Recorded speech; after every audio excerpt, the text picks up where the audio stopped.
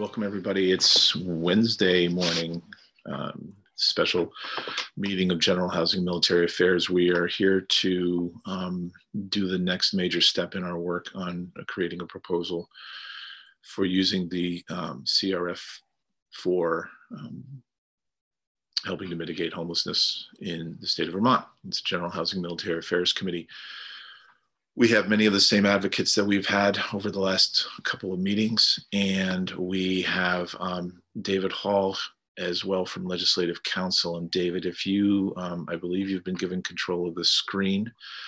Um, basically, folks, um, just uh, to catch up as um, since yesterday, what I asked David to do was to put a lot of language into the bare bones that existed yesterday uh, that tries to clarify some of the um, appropriations that we are proposing.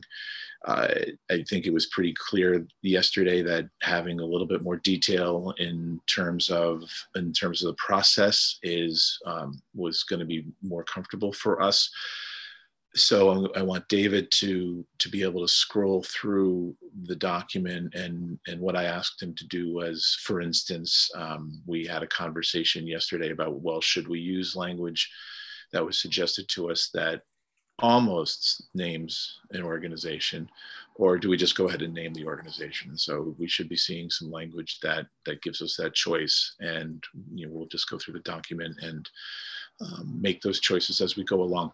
The other um, issue that came up yesterday is when we were talking about tier two um, and how that was going to work. And I brought that up with leadership, and basically, we don't. Um, we have a choice. We can either put tier two suggestions into this particular proposal, or we can take tier two out the the words of tier two out and deal with them at a later date, um, which could be as soon as this week or next week or August. Um, but it's our choice whether we want to continue. And I and I think that there was some discomfort over uh, prognosticating what tier two could possibly look like, especially given the usage. But on the other hand, um, you know, the benefit of having tier two language is that it illustrates our commitment to moving some of these programs and making sure that there's funding in these programs as we move forward. So that's something that we should answer um, today as well. Um, again, we can, by, by taking language out of this proposal about tier two, it's not, does not mean that tier two does not exist for us. It just simply means that we're gonna, we're gonna have further conversation and perhaps be able to refine um, the tier two proposals. So, um, David, if you're here. I'm here. Um, and if you want to take over the screen, um, I'm assuming that our um, I'm assuming that our two-page proposal has lengthened to oh look 11 pages. Um, so if you could just take us through this and um, uh, committee just if you show me a um, I mean, the, the, only people I can see on my screen right now, now that David is sharing the screen, is John and Tommy and Chip. Um, but if there's a, if there's a, do we want to go through this line by line, and uh, do we want to hear the whole thing, or do we want to go through it section by section and make the decisions as we go along? What do, what, what is um, it's your pleasure. I think I'm leaning. To, I'm personally leaning towards section Anybody? by section. Okay. I mean, but that's just my preference. I think I, I I would absorb it section by section better than doing the whole thing and then circling back to the whole thing. And and I think if if David, if you can, it could give like a, a re overall reminder, so not a section by section, but a I don't know, some high level something so that we mm-hmm. get a, a something as overview, but then really go in section by section. So a little bit of a hybrid. I don't know if that would be possible. I agree with that approach. Yeah, that sounds right to me. Okay, David, is that clear enough? I think so. Okay. So so let's do a let's do a synopsis of the of the overall um, and then just go and just go section by section. okay. Um, well, good morning. David Hall, Legislative Council. On your screen, you should have a draft 2.1 um, of the COVID relating housing legislation. The chair indicated uh, yesterday we worked through the two page sort of skeletal framework. And then the construct of this draft is to put more uh, specific language in on most of the different components. And at this point, there are five of them. Um, so there are legal services, then um, basically housing and facilities, foreclosure protection, um, rental arrearages and eviction uh, stabilization, and then um, and then the last piece is sort of a modified VHIP to uh, provide for the renovation of private dwelling units to be brought into service to house COVID related uh,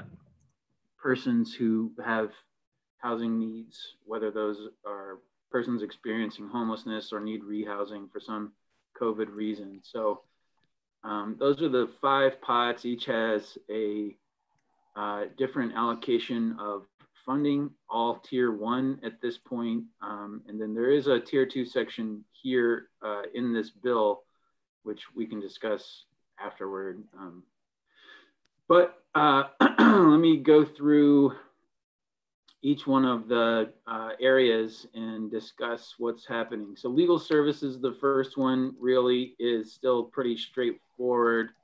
Um, it's $550,000. Obviously the bracketed language is to Vermont Legal Aid uh, to provide legal and counseling services to persons who are at risk of experiencing homelessness or who have suffered economic harm due to the COVID-19 crisis. So um, I'm sure at this point you've, you've heard uh, the proposal from legal aid to be able to provide services across the board for people who are in housing situations and need assistance with negotiations, with rents, with leases, with back rents, with uh, eviction proceedings. And um, so that's what this money is for. I don't think I said uh, definitively to you yesterday that I, I don't see any problem naming a particular recipient of receiving appropriations. We do do that. It, I think it's permissible. Um, it doesn't have to pass through the department. There are benefits and costs to doing it both ways. So um, I don't, again, along the theme yesterday of there's no one right way to do this. I just want you to know that you have that flexibility, whether you choose to name somebody or not. And um, I think, well, I'll leave it at that. So any questions on legal services? Um, just quickly, again, committee, I, I'm not easily sharing it um, but there was an email from um, Angela Zaikowski asking for some assistance as well. But I, and I've invited her to the meeting um, to talk about it. But I, again, I'm working on sharing. I'm going to send it to Ron first, and um, if I can, if I can get it cleanly, and then um, that'll be in your email box in a minute it's not a specific appropriation. It's just a different way of going about it to, to follow along with what David is saying. Uh, Chair, I, Yes. I'm sorry, I don't see the hair raise, a hand raise function when we're in this mode. Uh, But a, a comment on this and, and in general, uh, wouldn't it be better, excuse me, in most cases to specifically name the agency?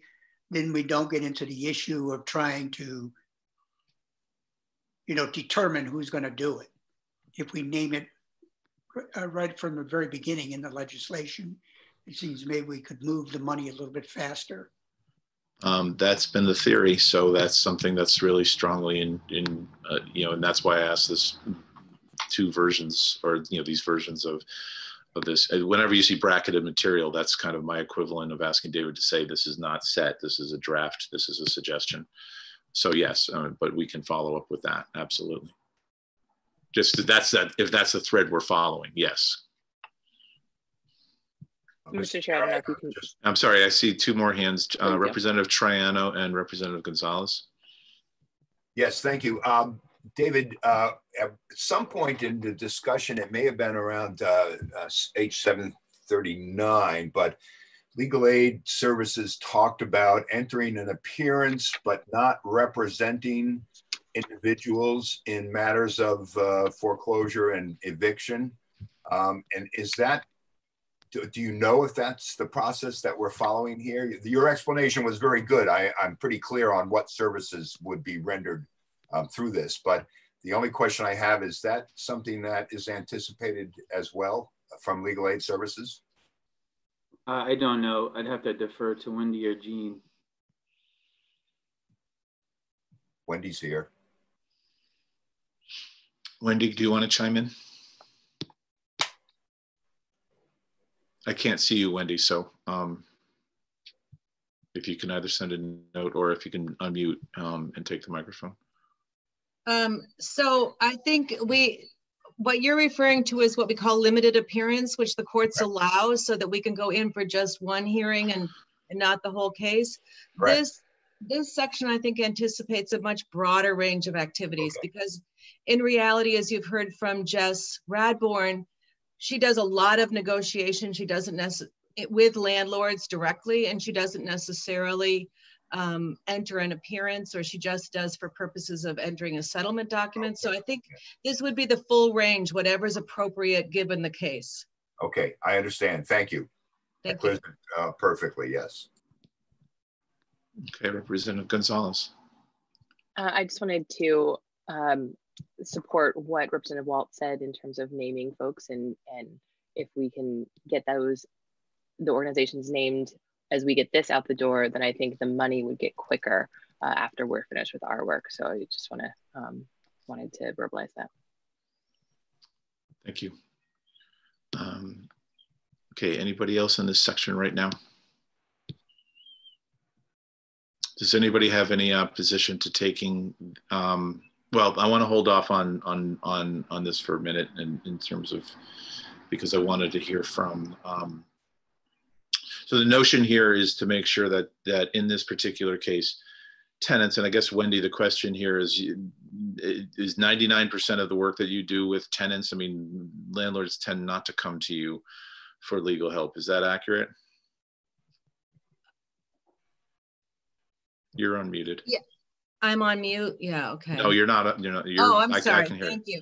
Um, yes, I think we very, very rarely represent landlords, and that might happen in situations for the Senior Citizens Law Project when the landlord is a senior citizen and we don't have the same kind of uh, income guidelines that we have, for example, in the Poverty Law Project.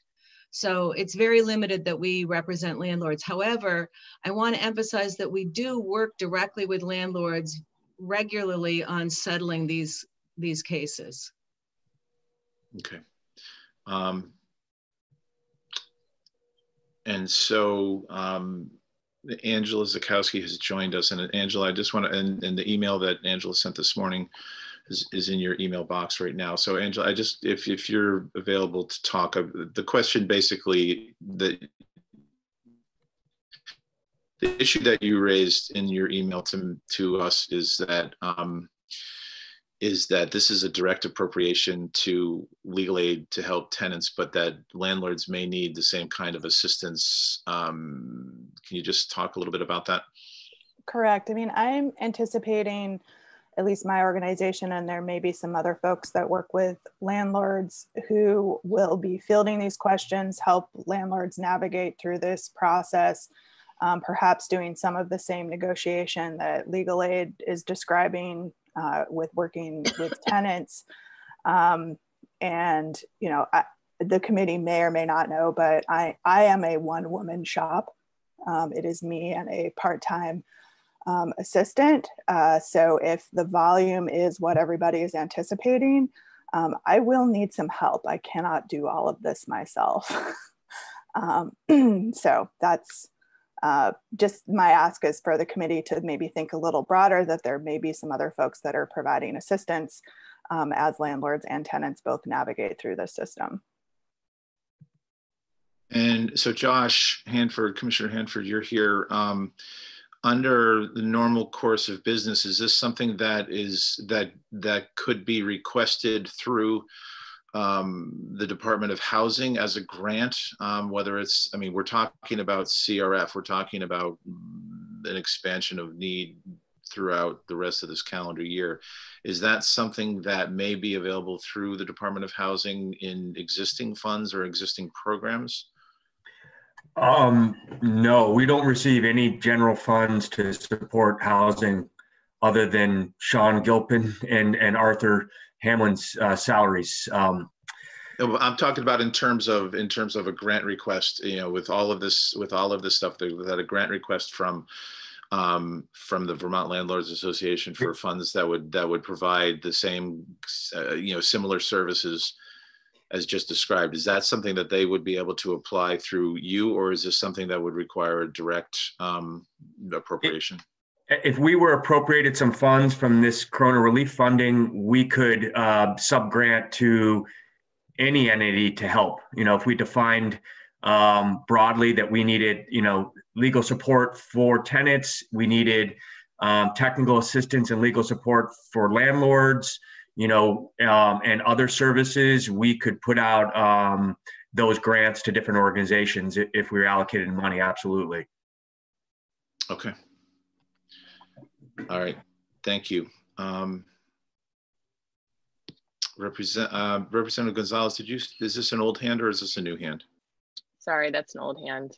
Okay, I got it. Uh, Representative Hango. you.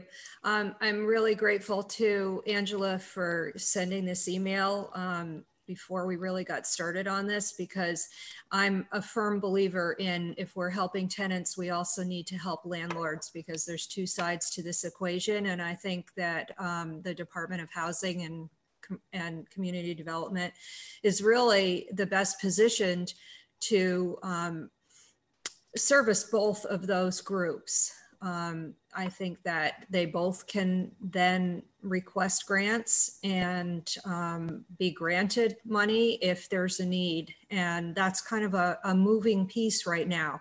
We don't know how much the landlords are going to need. And if they do end up needing money, it might be a little harder for them to go through Vermont Legal Aid um, because it's not a big umbrella organization that can, as Josh said, they can appropriate to various groups. So um, I'm definitely in favor of broadening it to DHCD and not just Vermont Legal Aid. Okay, thank you.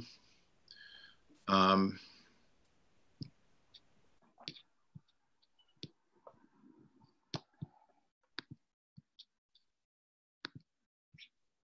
Representative Byram. I just wanted to say that I also support making sure there's there's money for both sides of the equation as we move through this. Um, I think there will be added legal and administrative expense, especially for independent landlords. Um, going into the unknown, I think having a, a support mechanism for those individuals is wise. Um, the I guess the question I would have just in general, I mean, for us all is, um, no, no, I, I, will retract that. Tommy, Representative Walz. I, I want to add uh, my support too for having some sort of funding for landlords and probably through uh, DHCD. And I'm thinking uh, to help them whatever with whatever process is necessary. For example, also in the, uh, the housing rehabilitation process, if that's a grant application form and, uh, you know, land, there may be landlords who aren't so good at doing that kind of thing. If they could use some help, I think we should provide it to them. So the question, like, so as of this this second now, I mean, just in terms of, um, is this something that we want to? We didn't get a direct number, and again, we haven't we haven't um, considered this. We've had a direct number from VLA for weeks and weeks now, um, the knowledge of what their program is. So the question here is, do we try to um, put a number down that may be a direct? Uh, I mean, again, I have no idea what that would cost um, and what, but but in terms of if there's a process here that um, and and Angela, this is this is for you in terms of where this document goes and how it's going to be, uh, how it travels.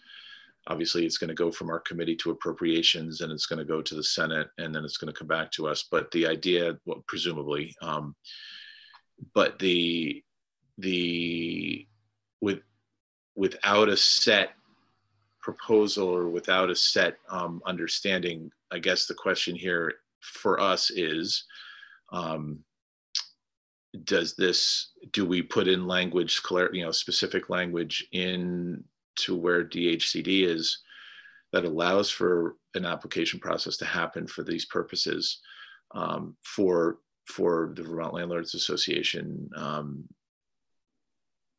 and then work on then work towards a more specific proposal as um, as this bill moves through as this proposal moves through the system um, Representative Stevens, uh, in response to that, I think my initial uh, response or proposal was one, so yes, I could provide DHCD or uh, this committee with a number, but there may be other organizations out there um, that can also assist with this. Um, it wasn't necessarily that mine is the only mm-hmm. one, mm-hmm. um, and it may be more appropriate for um, some other outfit to assist with portions of this or have increased personnel or capabilities. Um, and DHCD and ACCD may be the entity that is best positioned to make that decision ultimately as to which organizations um, will be of assistance. Um, you know, and just sort of uh, off the top of my head, I'm, you know, having another full-time person um, in addition to myself and a part-time person, you know, I mean, maybe talking a hundred, hundred fifty thousand dollars. It's not a giant, you know, we're pretty streamlined and we mm-hmm. move on sort of a shoestring budget, but some assistance would be helpful. No, I, I am totally sympathetic to that and and acknowledge that that it is um, you know, I mean, what do you mean you can't do it all? Um, so there's there's a feeling that there's a there's definitely a feeling of of acknowledgement that that this would be helpful and necessary to to provide this support. Representative Hango and then um, Wendy. Um, so I just looked quickly through this bill and I wondered if um, legal services could be added to number four on page three. Um, under rental assistance eviction protection. If we rolled legal services into that um, and specified that it would well it is it is specified sort of that says the department shall in, administer in partnership with statewide organization with an expertise in partnering with private landlords nonprofits other agencies and municipalities et cetera. And it's also for tenants. So I wondered if that might be a good place for this legal concept to reside.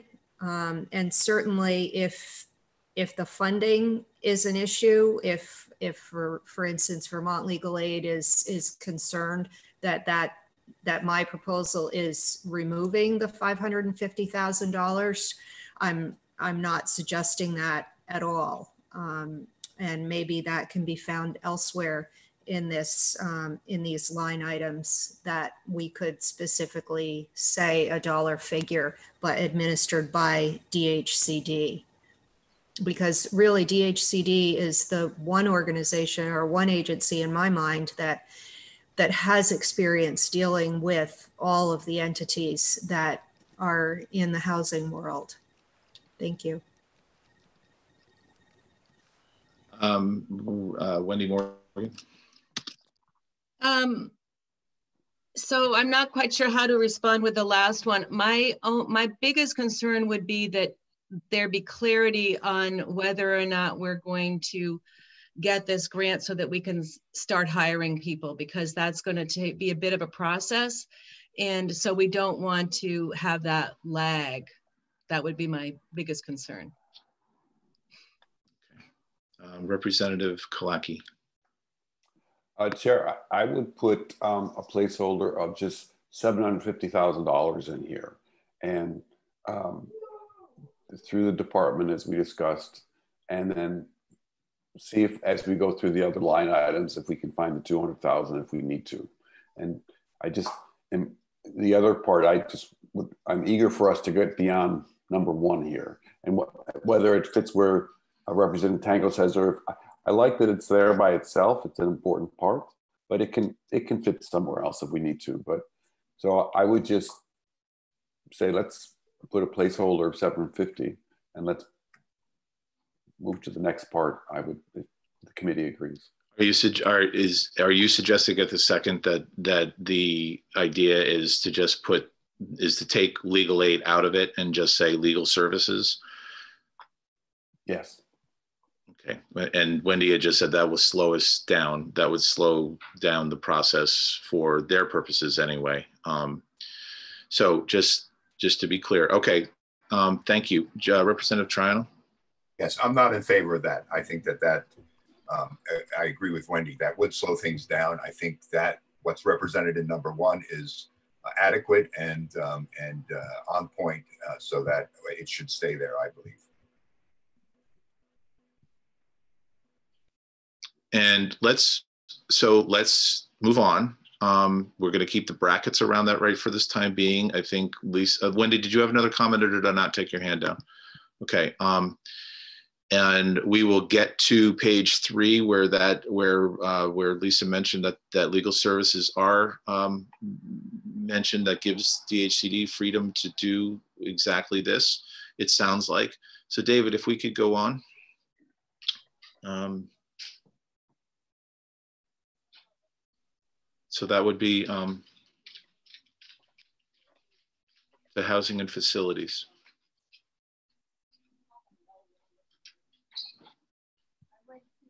Are you are you with us, David?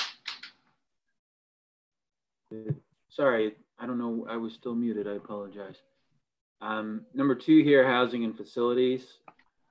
So this is $11 million and the bracketed language is to the Vermont Housing and Conservation Board, which the board shall use in part through grants to nonprofit housing partners and service organizations for housing and facilities necessary to provide safe shelter and assistance for persons who are at risk of experiencing homelessness to mitigate COVID-19 effects and enable compliance with public uh, health precautions. So you may recognize the language. It is the same language from your S350 amendment. This used to be this used to be the shelter uh, specific piece of this proposal.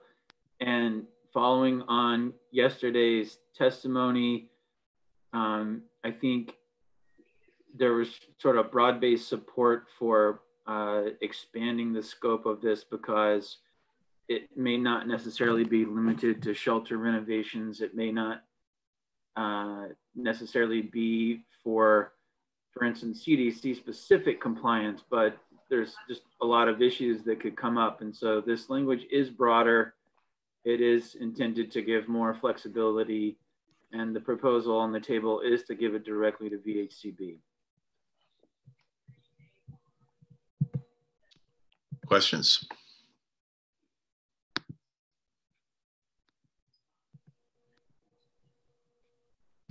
All right, um, Representative Hango.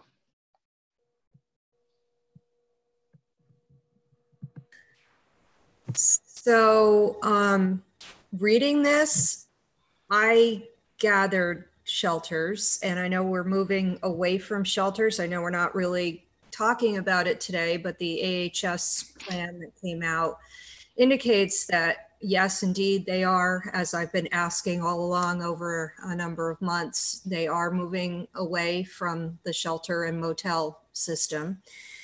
So my concern is granting all this, allocating all this money to VHCB um, and not, again, to an agency or a department in the administration that really has oversight over all all housing. Um, I just am a little reluctant to name one organization in this case because this is going to look really different.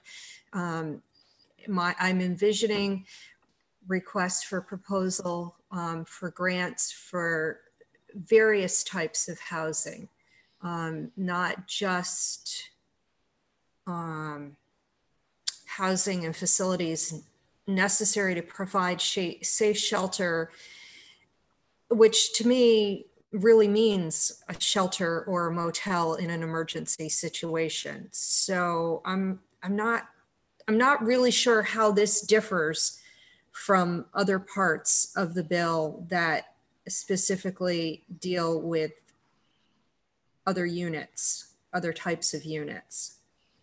So I guess I have two objections. It's not clear to me what types of dwellings this this refers to because I I feel like it's shelters and or motels, and I'm not entirely certain that we should um, designate one particular organization for this. So thank you. Sorry to ramble about that.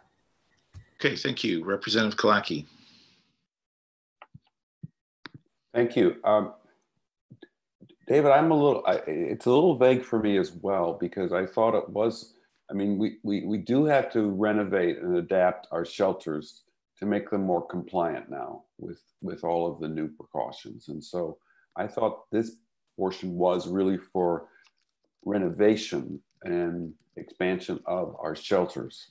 Um, so it says for housing facilities necessary it doesn't really earmark it in the way that, uh, unless I'm misunderstanding it, because the other thing is, could if we if we, I mean, we spent an enormous amount of hotel vouchers.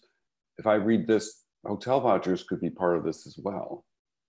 Um, and and I don't think that that was what the what we had earmarked this for. So this is um, I'm in favor of of adapting the shelters as we need to and uh, renovating them. I think it's the right agency, but I'm not sure that it's clear for me. And maybe I've misunderstood, but, but I thought this was for renovation and adaptation of shelters. Um, I'm does uh, Jen or Gus want to address this language at all and how you read it from the VHCB perspective? Gus. Mr. Chairman, good morning. Gus Seelig for the Vermont Housing and Conservation Board. Thank you. Totally, I can't hear you. There we go. Can you hear me now? Yeah. A little bit, yep. Thank you very much. Um, and thank you to staff for broadening the language a bit. Um, our intention here is to survey all the shelters, invite them all to apply, and we and just do not know and have not had the same level of contact exactly where the needs will land and whether for and I used Barre as an example yesterday, they may not want to renovate their existing shelter. They may want to put the money into a new and different facility that would be much better. So we understand the intent. Uh, we will certainly live with that intent. We will conduct outreach to that community. We have funded virtually every shelter in the state at one time or another, some so long ago that uh, they may not remember that we've given them a grant in the past, but we do have an ongoing relationship with those organizations. The structure of the board um, is that the Agency of Human Services is represented on our board.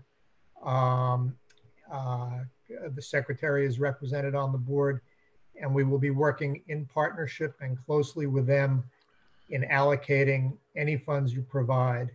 Um, so our goal was simply to have more flexibility if somebody wants to do something different because their current shelter is really not adequate to the current job. And I think this language gives us the breadth, understanding exactly what your intent is here um, to improve shelters where that's the appropriate thing to do.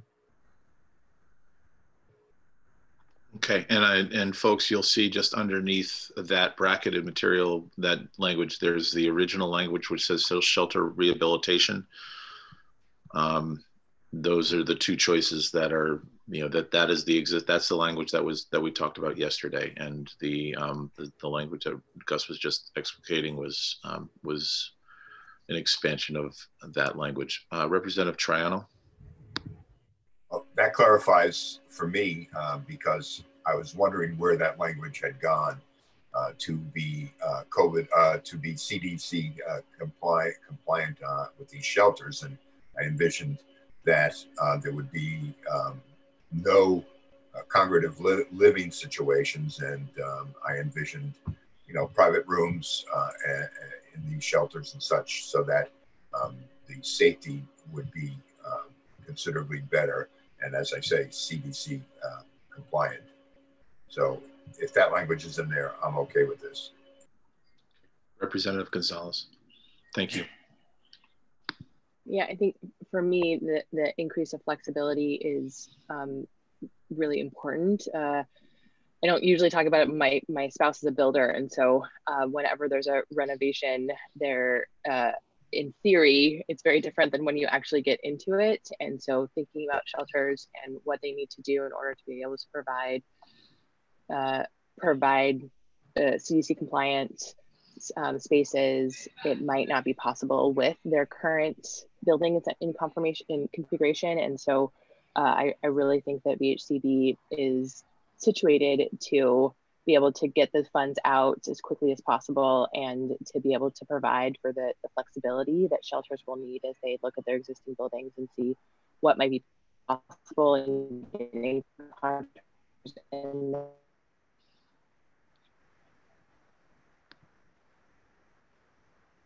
else and about tiny homes and, and other things like that that provide some flexibility and so I, I like this language because I think it, it does what we need it to do of getting money to an organization that can is connected, can really provide it for the shelters and really provide it for the folks that need it. Great, thank you. Representative uh, Walz.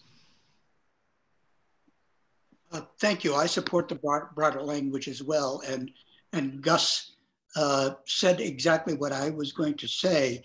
Uh, if we specify that it has to be for rehabilitating existing shelters, that might not be the wisest use of the money. And again, I was thinking specifically of Good Samaritan Haven in, in Barre, where trying to redesign that facility may not be the wisest thing to do. It may be uh, wiser to look at something different uh, that could accommodate uh, more people. So I do support the broader language. Thank you, Representative Hango. Sorry, I didn't think I was next in the queue. So I'm seeing language with one bracket and, oh, see the second one, but I'm not seeing um, other language about CDC. Were you saying that there was language about CDC in, in the here? second in the in the in the original language on line 15 oh, okay. that's on our screen oh uh, no cdc is not on the... with guidance of the Centers for Disease Control. That's the screen. I'm, I'm looking at David David Hall's shared screen, and the original number two from yesterday talks about um, to achieve compliance with guidance of the Centers for Disease Control and to ensure public health. Okay, sorry. I guess I'm not seeing the exact same thing that you are. what I'm running, what I'm running into is the the 2.1 draft that I printed off that was from yeah. 151 yesterday is not syncing up with what's on the screen. Exactly. Yeah, we're not seeing. And um, that's it's totally throwing me off right now. Yeah, me too. I'm really sorry, but this is. um But yeah, my printed copy is not this. Right. Because so I just I just added the piece from yesterday so that you could see them juxtaposed with one another on the screen. Oh, okay. So 2.1 that was on our website when we started this meeting this morning is not what you have up on the screen. N- Not as of four minutes ago. I Okay. that- Okay. I That's that. I- That was really throwing me off right now. Yeah. Yeah, and I about need, I Yeah. need to like blow it up to read it on my own screen. So I'm not reading it off the screen. So anyway, regardless of that, I'll look at that in a minute.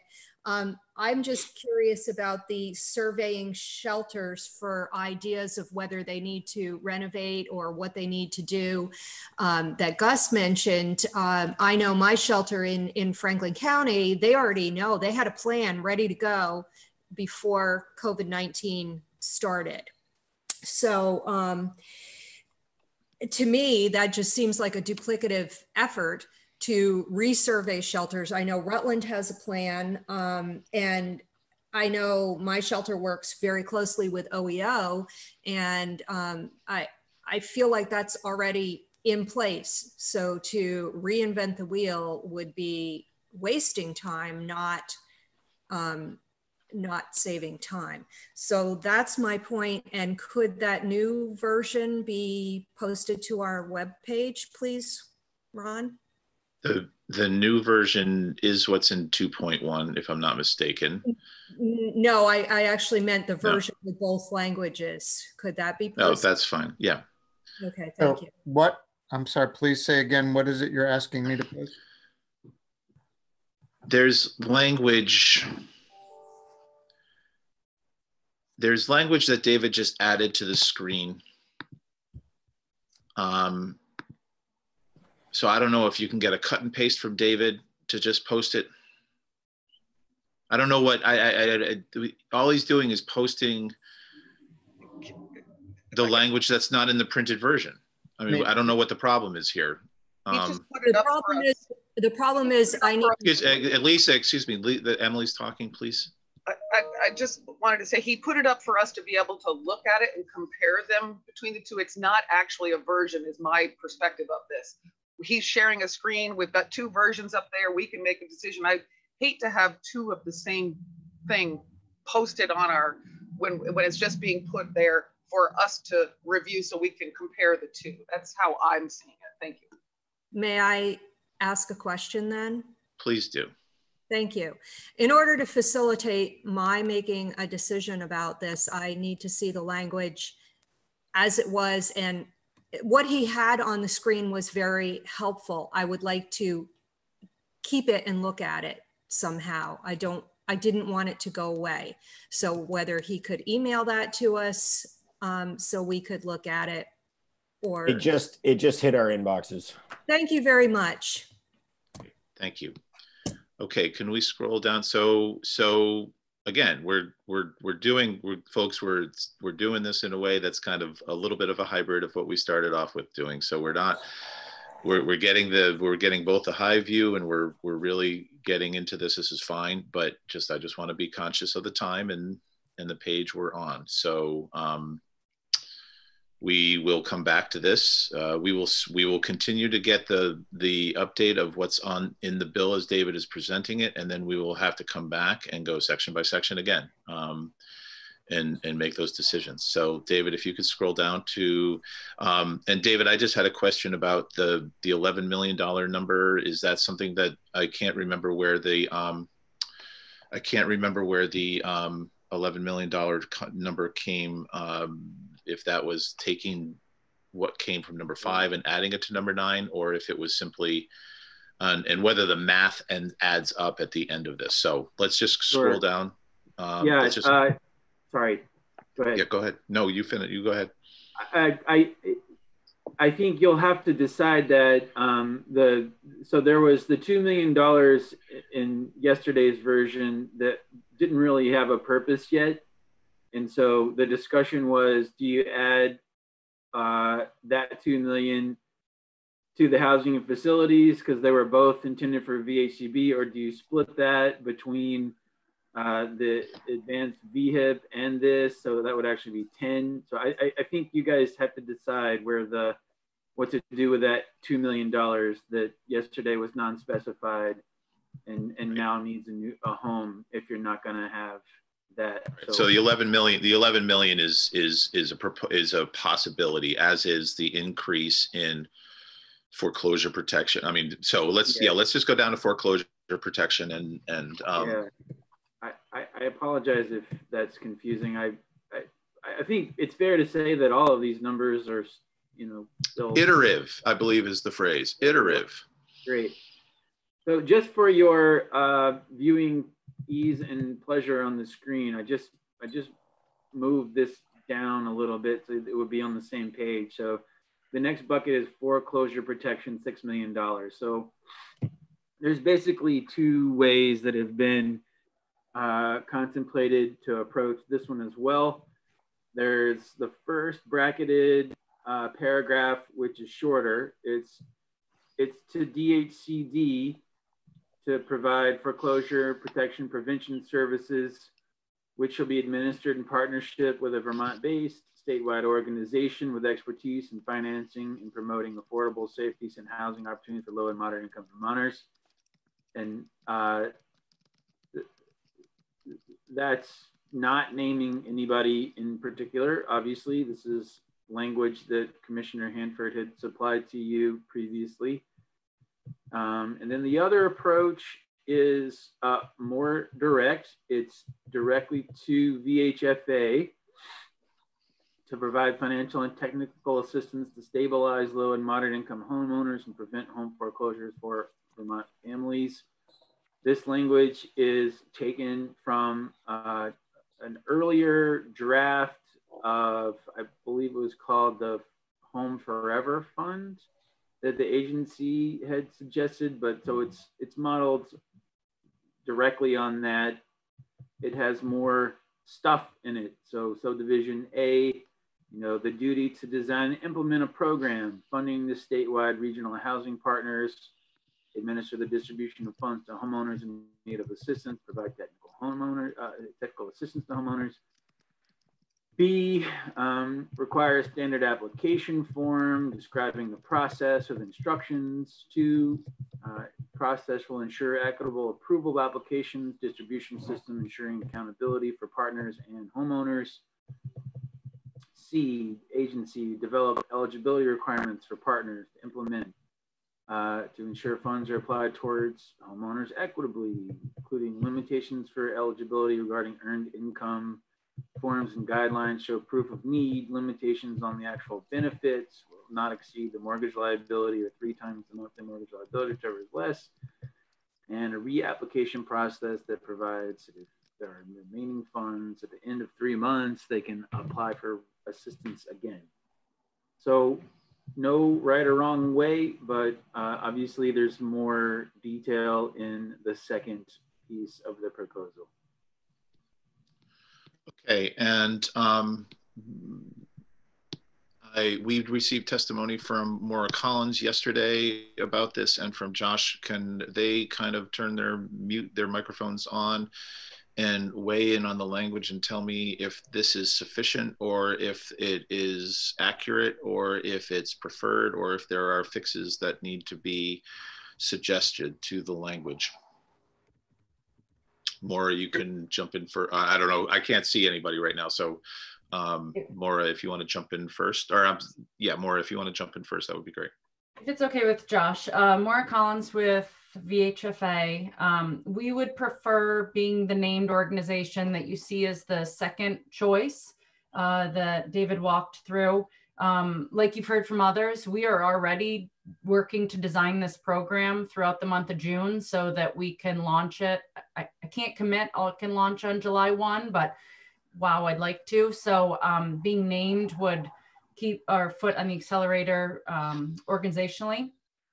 Another change is that um, as we've been designing and discussing this with the department, uh, we think that it's best to use the regional housing partner organizations referenced for the first time um, on page two on line five.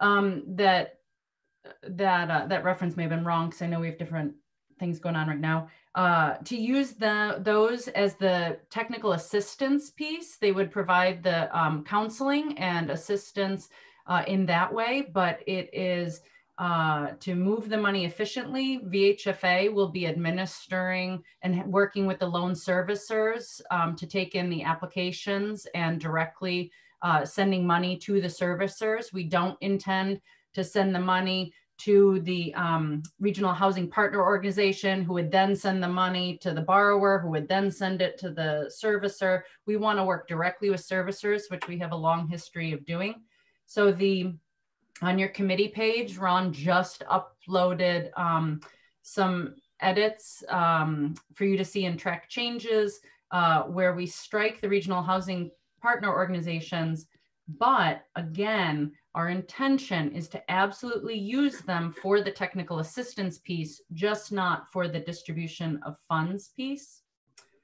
Um, there is a place where we've inserted some language um, in part C, um, part and then number two, um, where it talks about showing proof of demonstrable need for assistance.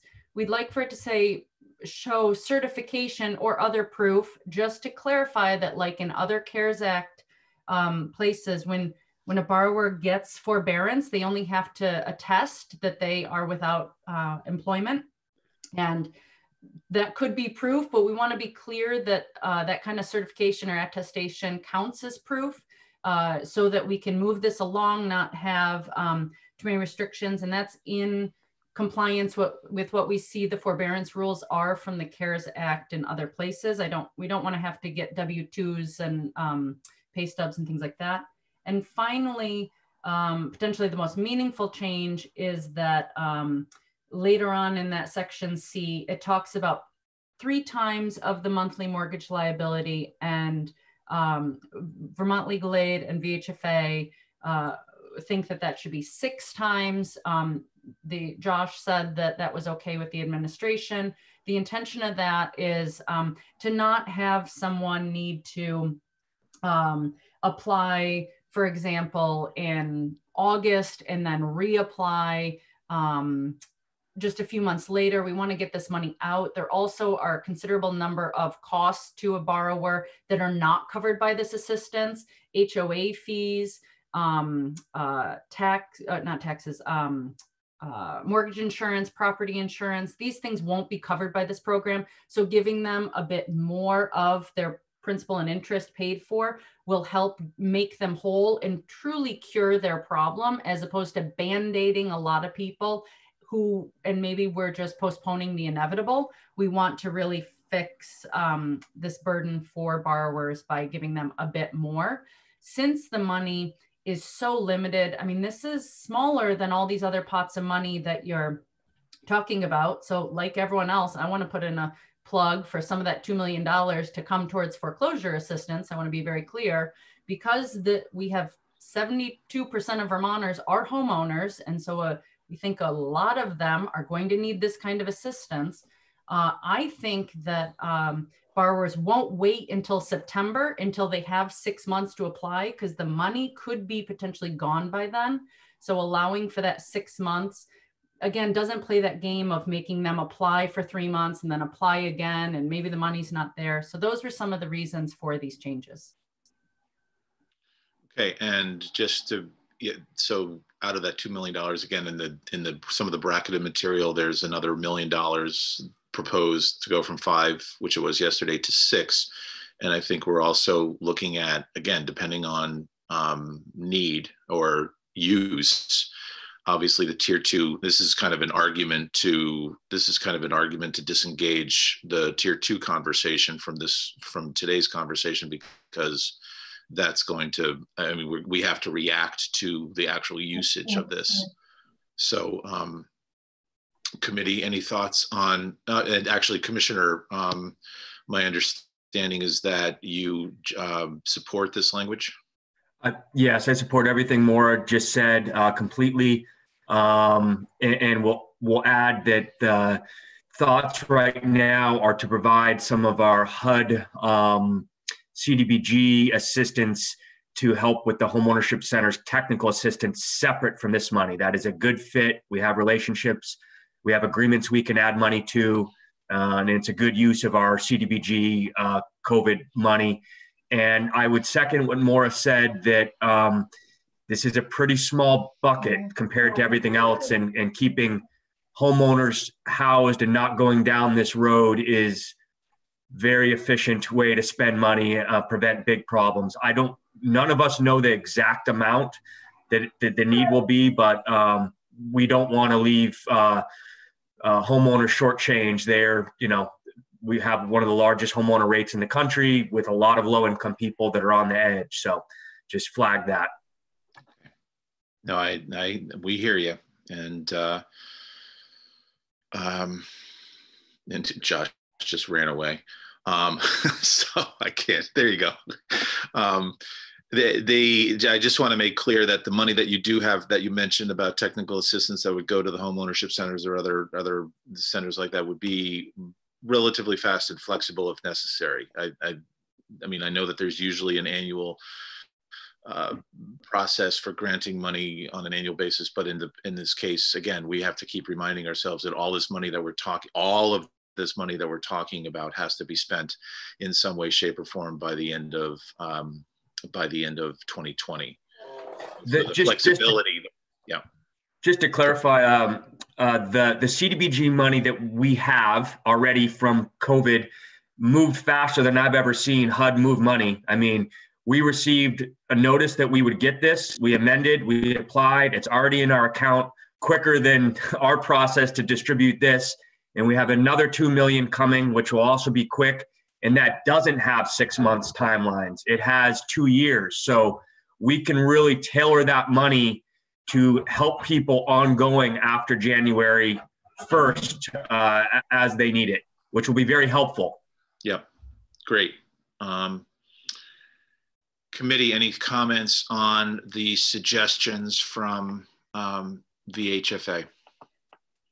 Or should we just forward it to David or just have David? Um, I guess the question is, are these changes sufficient? Do we approve of them and shall they be incorporated into our draft? Representative Troiano? Yes, I would support this language. I think that um, uh, whatever, that these changes are, uh, are positive changes and from what we hear uh, will uh, get this money out and uh, directed in a manner in which it should be. So I would support this language change. Representative Gonzalez. Just echo that. I support the language change. Okay. Anybody else? Thumbs up, thumbs down, thumbs up. Okay, so David, if you can um, strip that language from the um, document on our document page and, and insert that. Um, all right, what's next? David, reshare your screen.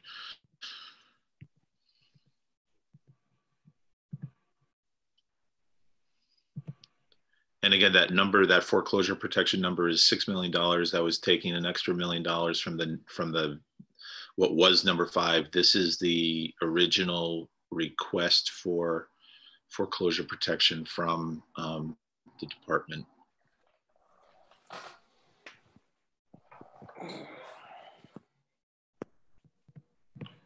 Can everybody hear me okay? Yes, or I can anyway. I'll speak for myself. Right. Um, so the next uh, bucket is rental assistance and eviction protection. So this is $30 million.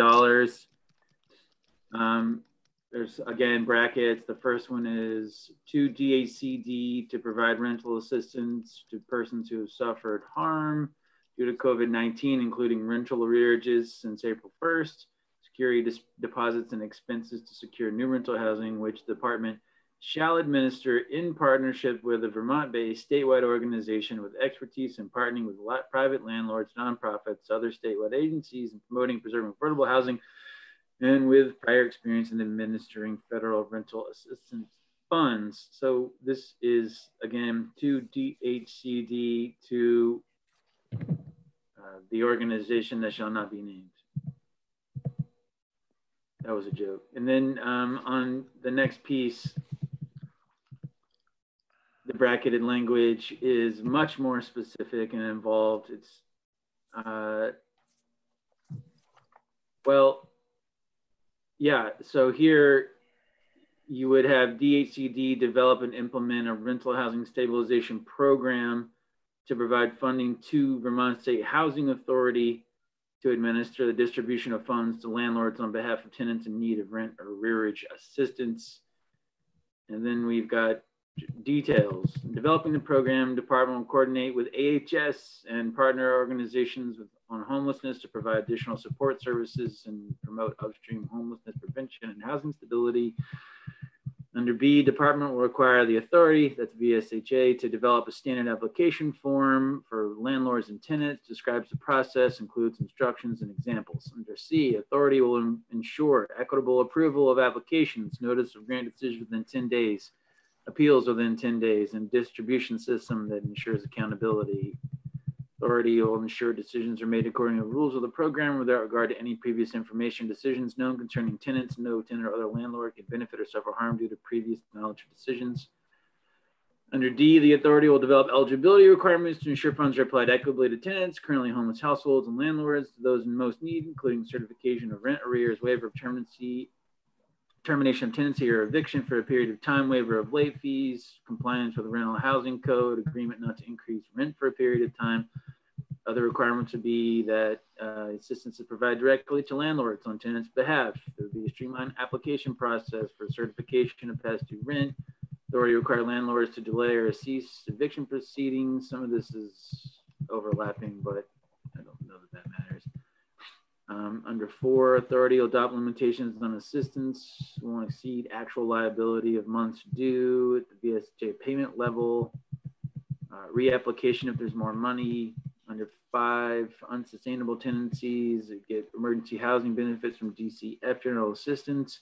You can use the fund first month, uh, last month's rent, security deposit, necessary payments through December 30th landlord has to certify that he won't evict or she won't evict should the tenant leave prior than the amount received for blah blah blah reimburse if appropriate not later than august 10th thereafter upon request from the legislative committee the authority shall issue a report to the legislature detailing number and amount of grants awarded in each category by county.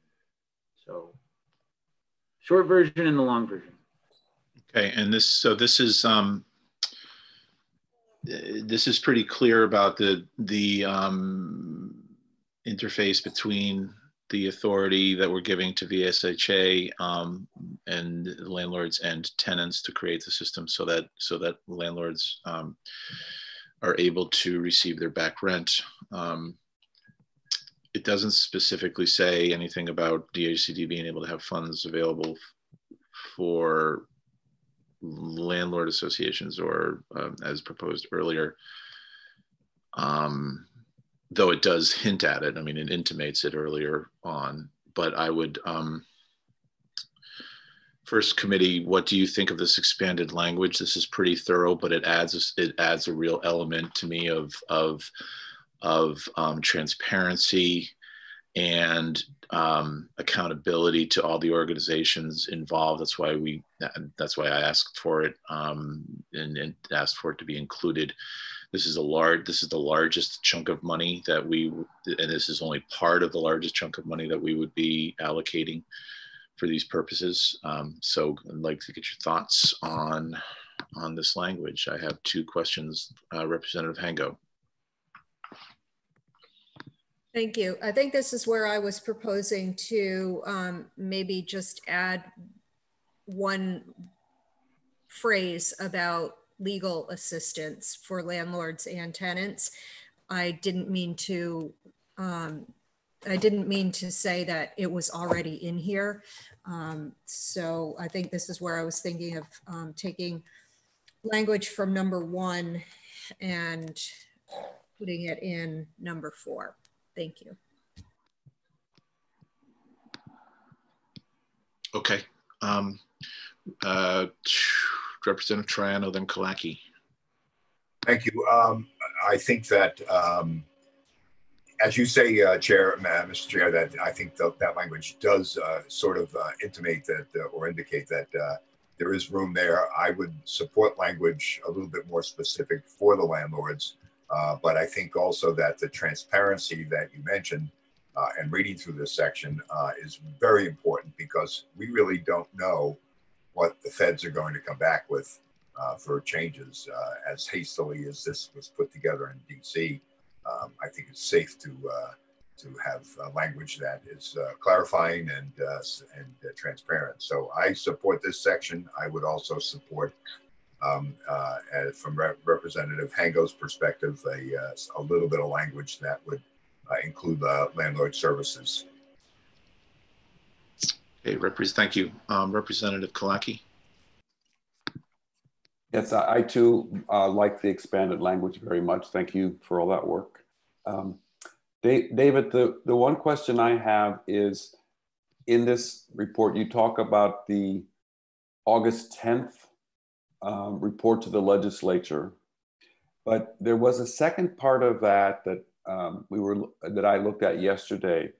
Um, that then the, the program should be reviewed on or before September 1 along with other coronavirus relief funds, housing programs to determine whether funds should be shifted.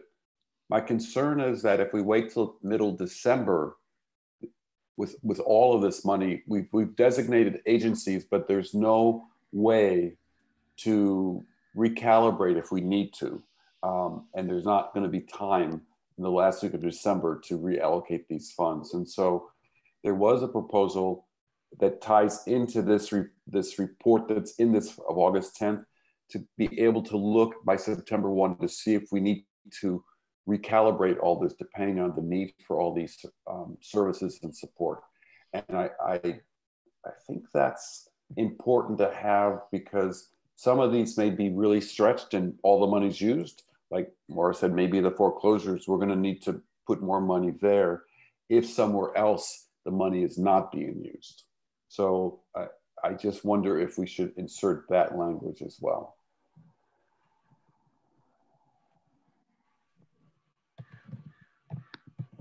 That's my question. Okay. Um, any th thoughts on that? I, I don't know. Um, you know, I'm sorry, reading the future right now is really not my, my bailiwick. Um, I'm not feeling very strong in my crystal ball. So it's hard to, it's hard to call. Um, let's let that stew for a minute. Um, Representative Hango.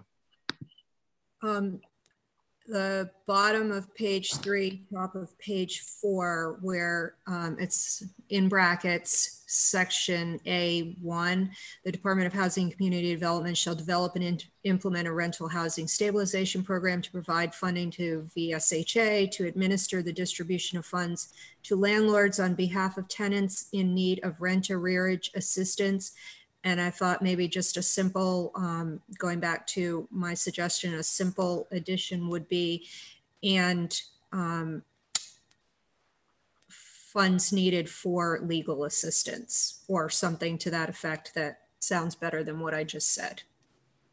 Thank you. Um, uh, okay. Um, I have one thing that I, I noticed that on, uh, I think it's on page three, line 11. Uh, there was a reference to April 1. I believe all the COVID money is supposed to be available from March 1 on, and I just want to make sure that that's accurate, that that that's consistent. Um, I may have I may have suggested that in error. Um, can I just throw something out in terms of in terms of the um, in in terms of direct assistance or potential direct assistance via DHCD? Um, we have we have this two million dollars that that could be reappropriated. We took we're proposing to take at least one and moving it to um, foreclosure to get that request up to speed to to be the the the um, administration's request. Um, is there a poss and then this other million dollars while it's out there may you know go to the VHIP program. We've heard various and sundry things about the you know the the, the, the attraction of the enhanced VHIP program.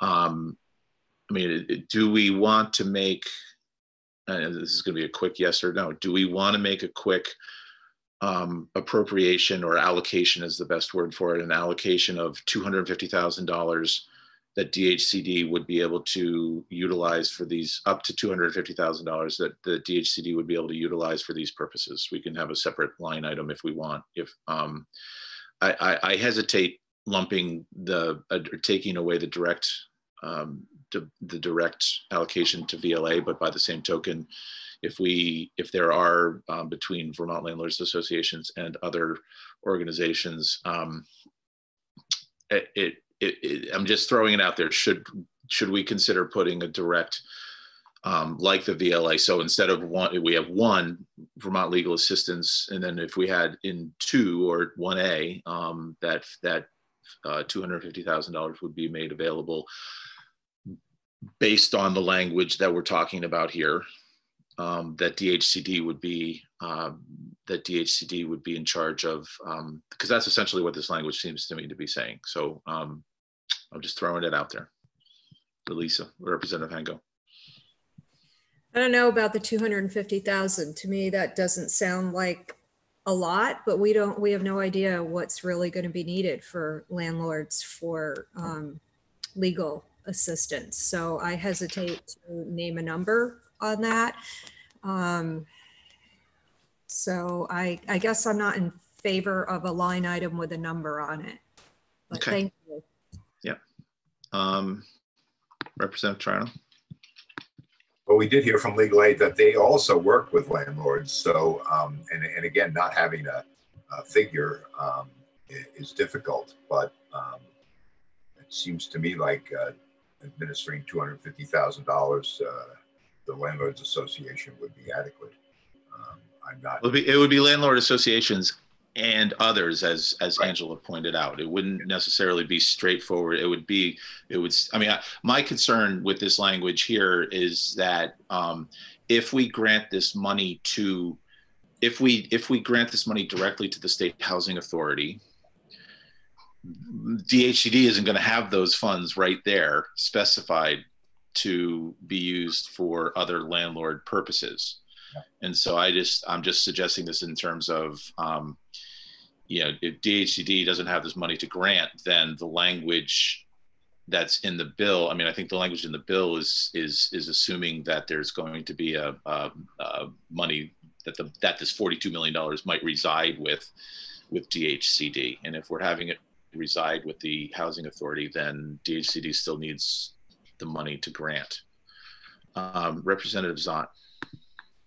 Yeah, I, I support a specific dollar amount listed as well. I think it makes sense. And I thought, unless I was confused on the matter, I thought uh, landlord association threw out a number of around 150,000 for a staff person to dedicate or to bill time in that regard. So it seems like we built in some cushion in terms of what what they said they needed. Did I miss that? Uh, uh, Angela had said had had just thrown out the number of 100 to 150 thousand dollars that would hire at least another full time person and and other people that she might need um, to build the system. Again, the the hard part is um, I don't want to. I that's a number she tossed out, but um, with respect to the work that she, you know she needs to do. Um, and she also pointed out that there may be other organizations that would be um, helpful or want to help and so that's that's why i would go up to you know that's why i, I expressed the higher number um, i don't think that i don't think that there's a baked number uh, from that that would help right now um, Right. I mean, that's that's why that's why I think the number you threw out makes sense. Is what I'm saying essentially. okay thank you um, representative troiano I should have lowered my hand. I don't have anything else. Okay, that's a first. Yay. Um, uh, Representative Hango and then Byron. Um, I think I must have um, missed the boat on the 150,000 by that was proposed by Angela, so I apologize. Um, so thanks for bringing that up, Representative Zott. And I think maybe I was suggesting to put language in in the wrong spot in this. So I'm just going to withdraw the other comments that I made and um, go forward with the 250,000 and I'm not sure where where it goes at this point. So thank you. Okay. Representative Byron. So with the way we're setting up the language for this on the, the property owner side, would this al- still allow for them to use existing legal counsel that they have a relationship with, perhaps also a relationship with the history of the property? Or does this isolate them to using a, a designated entity? I, I mean, off the top of my head, if you have your own attorney, you would use your own attorney. You wouldn't but would you have necessarily. access to the funds for reimbursement is my question. I think that the answer to that is no. Um, this isn't a personal, this isn't a personal pay for your attorney fund. This is to utilize an organization like, like the Vermont Landlords Association or um, for their, for their um, guidance, much like Okay. VLA would be guiding um, tenants who don't have an attorney of their own. All right, no, I just wanted clarity on that. Yep. Representative Hango? Okay, so that brings up a question that I forgot to ask earlier. Um, I am under the impression that not all landlords belong to the Vermont Landlords Association. So I wondered how that funding was going to work for private landlords. So I guess I have my answer right now on that. And I'm wondering how this, how this can possibly help or how we can make it help private landlords who do not belong to the Vermont Landlords Association or, or access Vermont legal aid. Um, I think in the case, uh, my understanding uh, uh, of the way that the VLA money is is is uh, structured, or the way the VLA is structured, is that people call, and if they can, if they have the capacity to help, they would help. Um, what uh, Angela had described was um, was a helpline. Was I mean, we, we have a lot of so-called mom and pop landlords who don't have attorneys and who may call the apart uh, what used to be the apartment owners association landlords association and ask for guidance on certain issues and i think that for what we're talking about is this limited amount of time between now and the end of the year where there would be um, essentially um, well I, I was going to say essentially a helpline but i you know angela do you want to chime in on this about what you envision services to be about non-members Absolutely. Um, there would be no requirement that somebody be a member of the association to receive assistance for this program. Um, we regularly answer questions for non-members. Uh, we view it as part of our mission with educating landlords around the state of Vermont. Um, and if we were to receive some sort of grant money to help, there, nobody would be required to be a member. Um, I would also anticipate fielding questions for attorneys who are trying to help their clients navigate through this system. So the idea would be to be a resource for all folks on the landlord side. okay thank you for that clarification representative gonzalez I think that does it. I was just going to um, talk about my understanding that the putting in language that doesn't just direct the money towards the landlords association and and so that there is also um, some openness around it. But um, Angela, your uh, your clarity on being open for landlords who are not part of your association and your clarity of being open for other attorneys um, and available, I think is is really helpful to me as well. So thank you. Okay, um, David, let's get back to it. Thank you, everybody, for that. Um, So th- that was all under the umbrella of number four. Do I, do I have a final decision on if I'm changing the numbers there?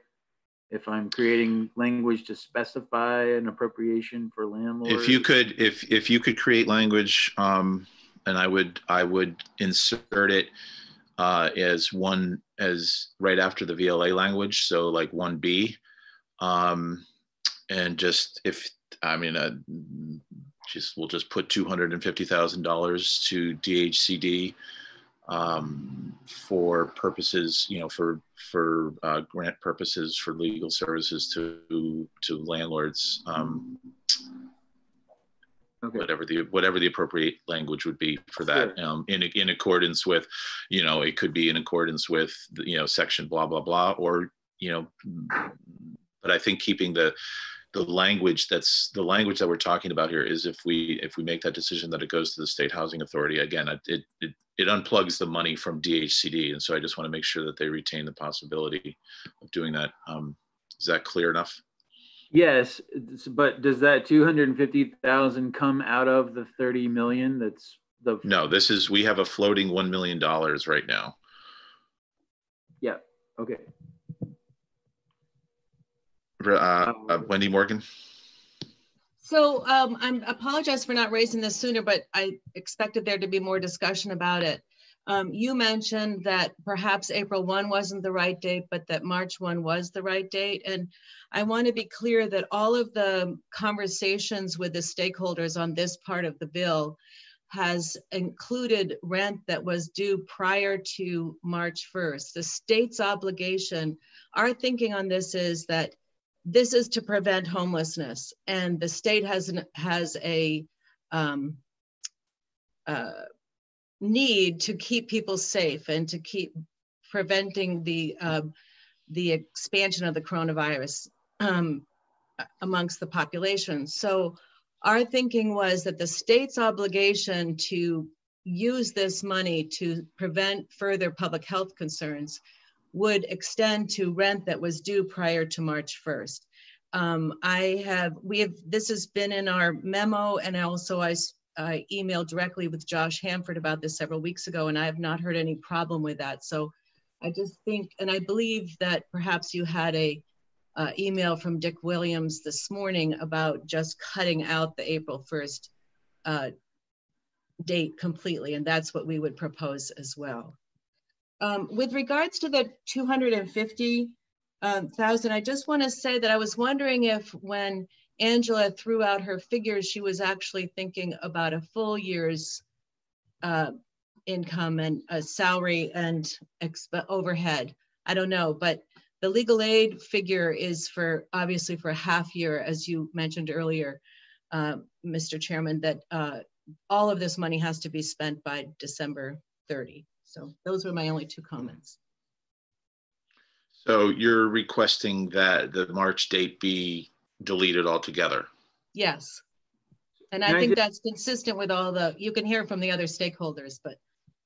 So the April date only appears in the short version of the $30 million allocation. So if we're going with the long version, then the, then the question about April 1 or not is moot. Okay, great. Thank you very Thank you. much. Okay. Um, David, where are we? We are on the last bucket, which is the enhanced uh, rehabilitation program. Um, can everybody see the screen? Uh, Yes. Rehousing investments. So the short version is it would be $6 million to DHCD to assist landlords with the costs of renovations necessary to provide housing to persons at risk of homelessness or require rehousing due to COVID-19. Uh, the long version is essentially the administration's original proposal uh, for a rehousing recovery program. Um, so that's $6 million to DHCD, design and implement rehousing recovery program, provide funding to statewide and regional housing partner organizations, provide grants and forgivable loans to eligible applicants.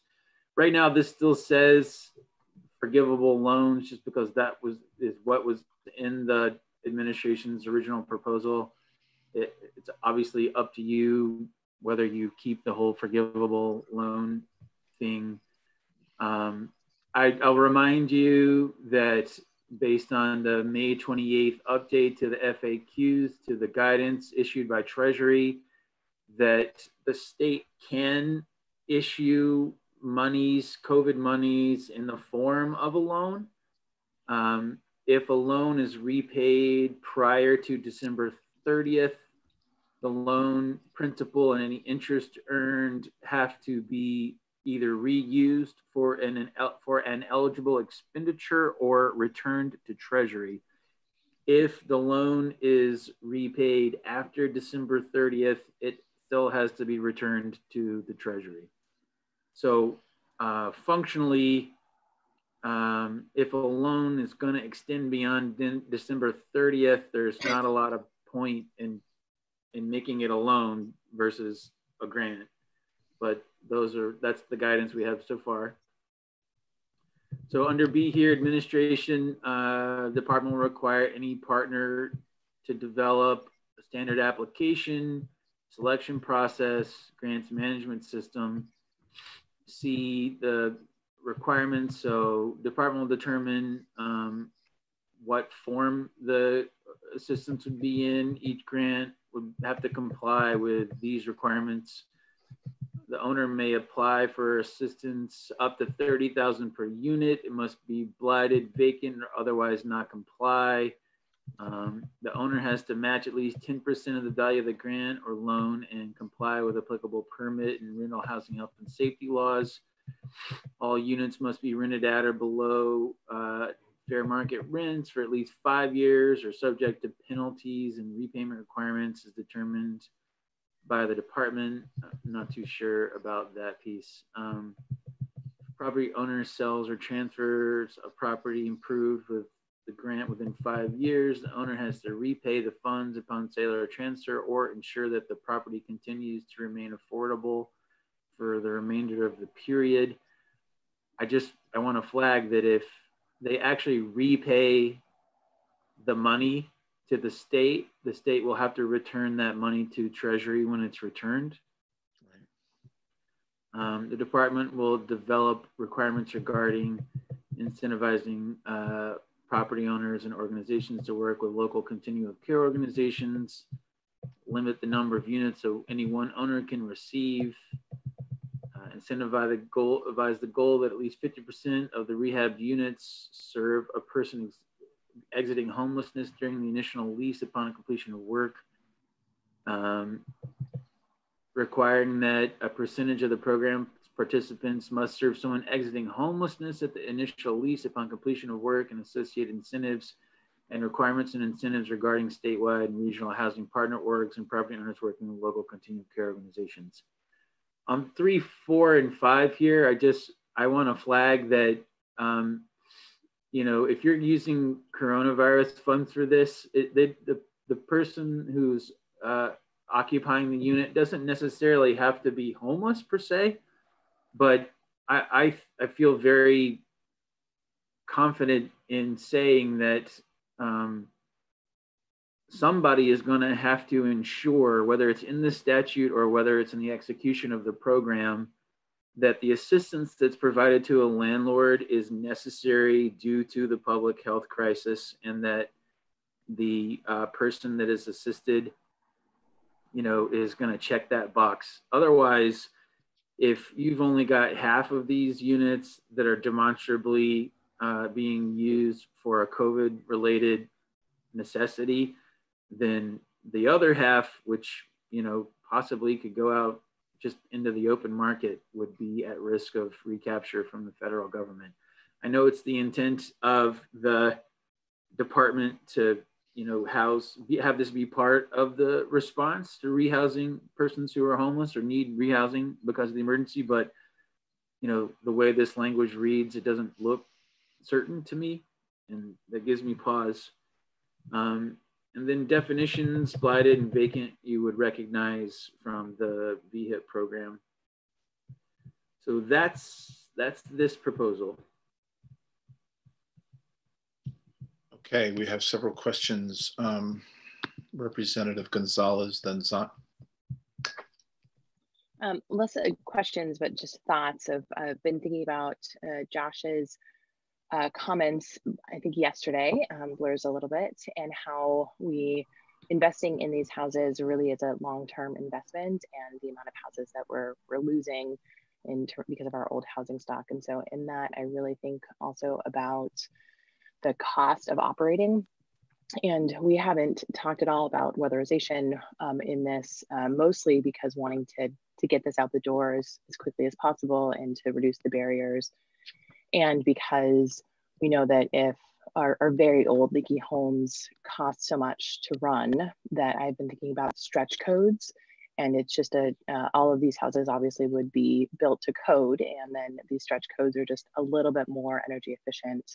And, um, and so in that having just a little bit more attention to the detail without significantly increasing the cost, but having it be a reduction in operation cost and reduction in the or an increase in the the life of the, the property. And so I want to bring up that idea as a potential to to implement that or to, to add that in there and really increase the, the quality and the payback of this investment.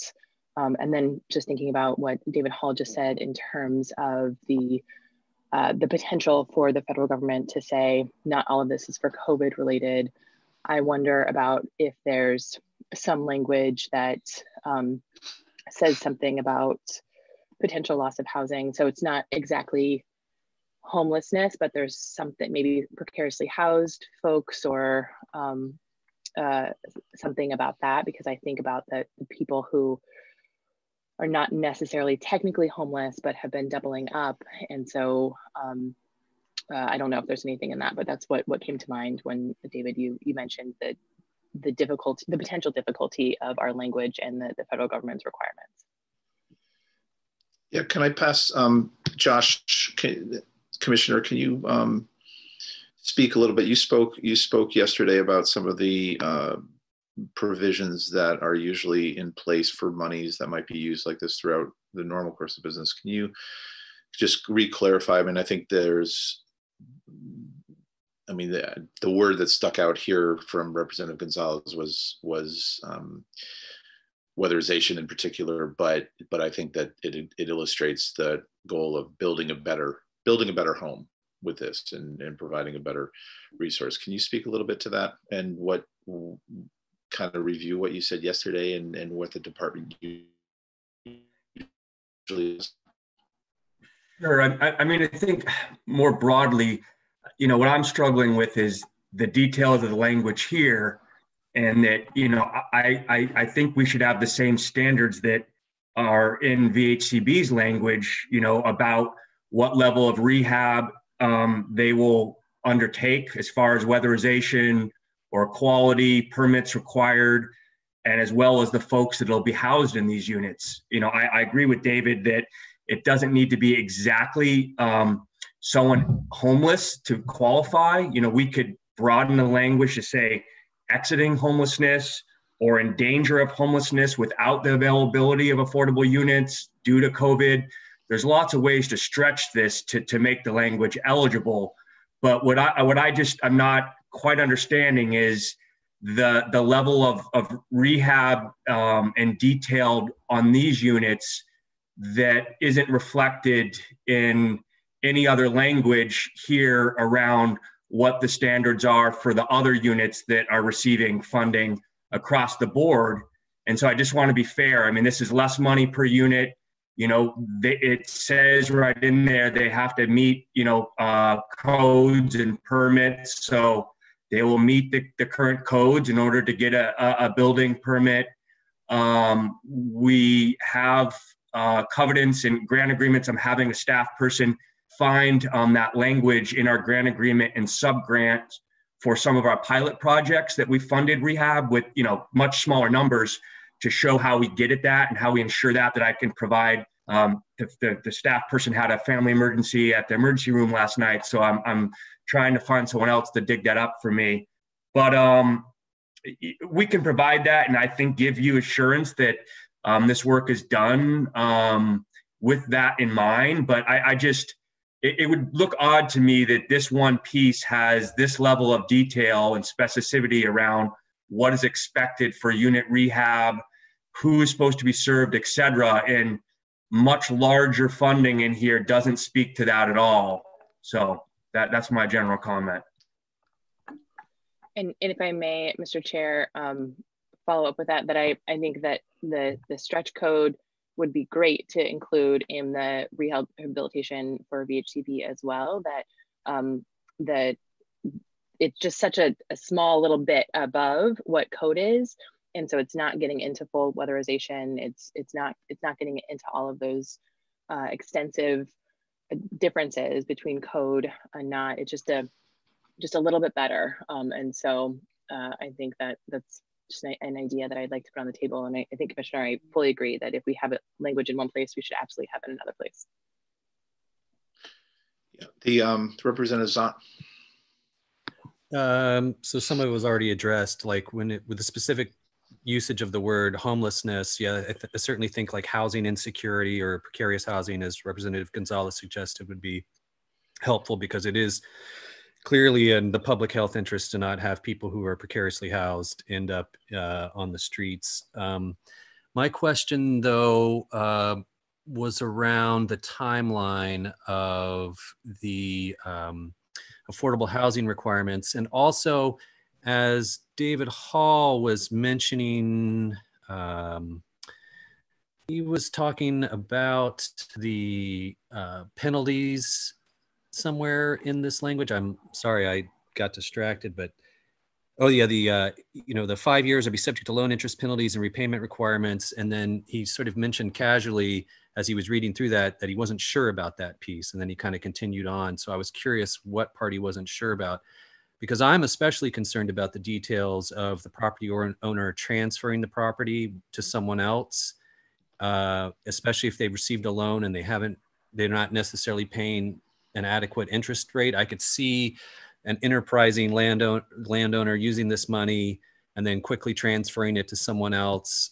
And if there's not a heavy enough penalty for that, where we lose these units, affordable housing units, where someone just has to pay kind of essentially a fee and they could do the cost benefit analysis and say, well, it's actually in my interest to sell the unit because the cost, you know, the penalty that I pay isn't going to offset what I'll end up gaining by charging a market rent. And I need to make sure that there's a steep penalty so that that kind of gamesmanship doesn't happen. Okay. Um, I, I would we would address that by putting a covenant on, on the, the property that comes with the grant that requires for five years that the rents be affordable no matter who the owner is and that transfers with sale you know in the same way it's it's not perpetual as, as some nonprofits you know or VHCB would have but it's the same form and function that the property has a, a lien on it with this condition until uh, the length of time is satisfied and that's how it's dealt with now in our existing programs that provide any funding to a private property owner, regardless if they be, uh, you know, a business or or housing or a nonprofit providing services. If we're providing public funds, federal funds, there's a length of time that's required for that public benefit to be met, and and that that's how we deal with it. So right now we have the possibility that the unit can be sold uh, and then this penalty paid. And what you're what you're saying as an alternative is we just remove the prospect of a and structure it more like a lien. Exactly. Yeah. So that makes a lot more sense. That certainly makes me a lot more comfortable with that language if we just remove that piece. Thank you. Um, next up, we have um, Representative Hango and then Troiano. Thank you. I just wanted to also comment on um, supporting broader language around housing insecurity versus 50% homeless or exiting homelessness as is referenced in in two of the bullets here um, because i really do feel that um, there are there are a number of situations where someone could be housed right now um, but would be much better off with one of these rehabbed units um, and may not qualify as actually being homeless. So um, I had something else, but at this moment I can't remember what it was. So thank you. Representative Troiano. Right, just uh, getting to the point of weatherization, I think there are energy codes right now. I am not certain as to whether or not they apply to renovation as opposed to new buildings. But um, it seems to me that um, any contractor uh, would, who would be working on a renovation of an apartment who found, for instance, uh, rotten uh, window uh, sashes, that uh, those windows would be replaced with energy, energy efficient uh, um, windows. Um, and I think if it was discovered that there was no insulation in the apartment, I think that would also be um, part of the construction. So, you know, I, I think uh, the commissioner had mentioned weatherization as part of this, um, and I'm not certain as to whether or not we need to specify anymore. I wouldn't be, I wouldn't object to it, but um, I think that the language in there uh, would uh, indicate that these renovations would be done in a way that would be energy efficient um, so that landlords had more of an incentive to uh, follow up on that with uh, uh, and being able to maintain um, their rents uh, due to the savings on fuel possibly. And so I think the whole thing kind of trickles down that way that to a point where um, you know it would be to the best interest of everyone to make sure that these renovations are done in a energy efficient way.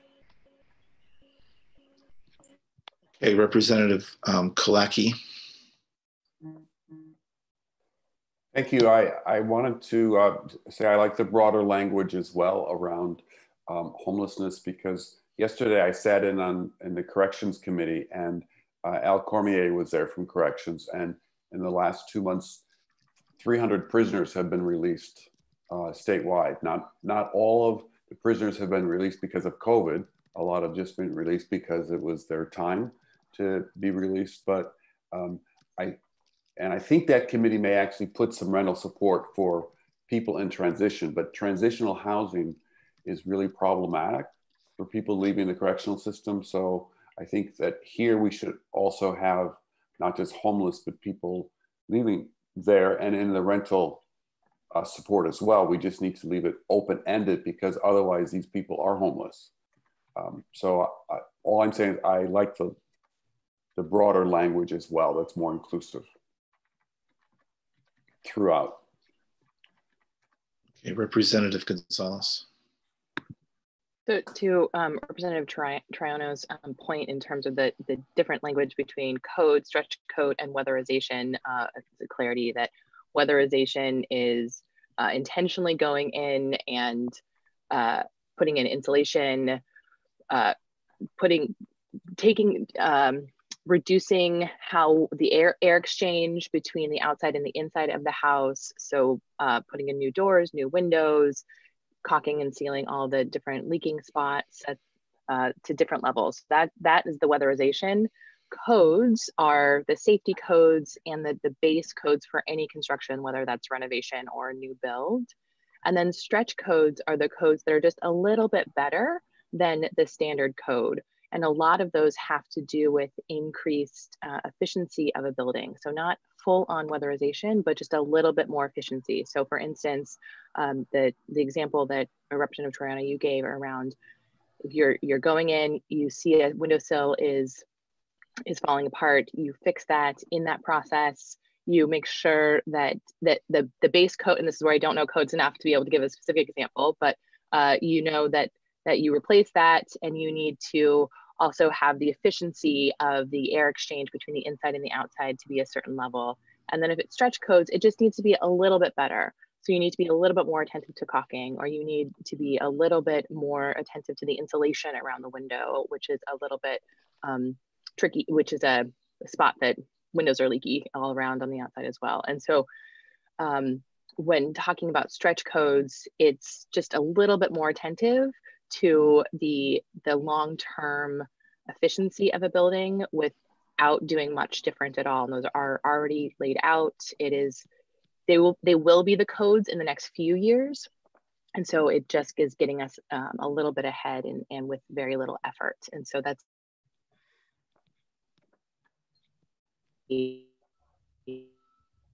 that would, make our investments last uh, longer, particularly with our very old old houses. So just wanted to clarify that and what I'm arguing for. Okay, um, Representative Hango.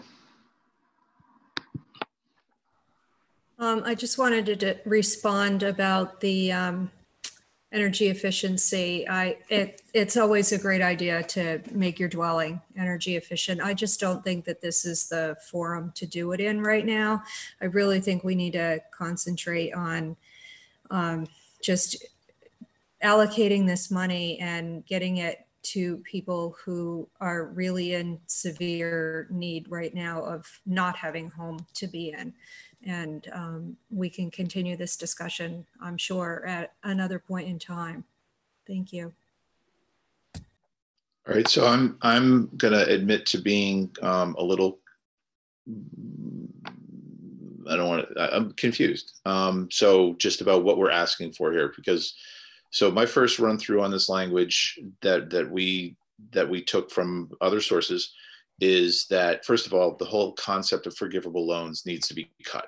I mean, I think we took testimony from the commissioner yesterday that this is not a loan program. This can't be a loan program. There's no way. I mean, I think I think if someone took a loan out tomorrow and then repaid it by the end of um, December, that they were actually saying we don't want to we don't want to uh, fulfill the covenants that uh, are that, that are being put in place here. We don't want to fulfill this homelessness or precariously housed person. It's kind of like the old the, the, the original question of HUD funding back in the 80s, which was people could buy their way out of their obligations. And that's what the forgivable loan sounds like to me after after hearing it today. So um, it's 1022. Um, I want to say what, so what is it that we're, if we're putting this in, there's two, there's, uh, once again, there's a choice. There's a much more expansive language in this, and there's much less expansive language in this. Um, the expansive, the much less expansive language is very broad, um, but it doesn't address much of what we were talking about here. So the question that I have for us is, what is the simplest language. We've we've heard from the commissioner that um, um, we've heard from the commissioner that there are many covenants of existing programs in place that would that would occur with this program as well. So what are we comfortable with in terms of putting this allocation into this session law this morning? Um, so I'm just I want to I want us to like take this whole conversation, all of which is valid, and bring it down to a point of like, what do we want David to put in our document um, for our approval? Specifically, do we want to say $6 million goes to DHCD for this rehabilitation program and it shall um, follow existing tenets of what DHCD already does? Does it, is it, um, because I mean, again, I, am uh, the reality to me is that a grant is a grant is a grant. I don't know what leverage we have to take back that grant except through a lien program, as as as the commissioner was talking about.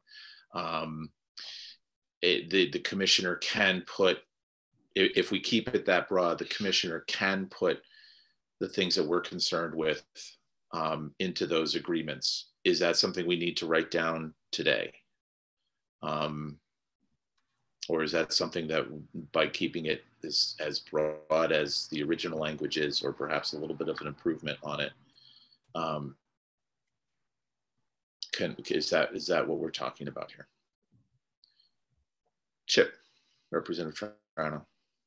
Um, I think the specificity is um, a good thing. Um, I do think that um, we should uh, make it known um, to um, all who may apply for these funds that uh, number one, uh, there would be a transferable covenant uh, on this on the property as far as um, uh, maintaining uh, a, an affordable rent in that particular unit or the units included in that dwelling. Um, and I think that um, everyone should know that when they enter into this. So I would I would suggest that we do um, uh, put some language in there that would indicate that there are uh, there are some protections and restrictions um, on those who apply and, and, and, receive these grants as far as maintaining the um, uh, affordability of the unit.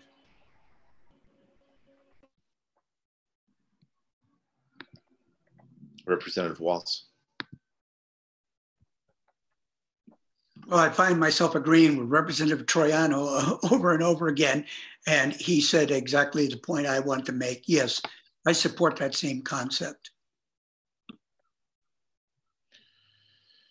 So, David, do you have enough of what this last 10 or 15 minutes of conversation on this section has been to draft something that is um, more concise and yet um, addresses the, the broadness that we're looking for in terms of the language instead of being as prescriptive as we are, as, as what's on the paper right now? I can try. okay. Um, so, David, what is your schedule for Senate Economic Development? Uh, Is it I catch as catch can today? I think I'm supposed to be there in four minutes. But uh, I think this is due to be to appropriations at noon, is it not? Yes.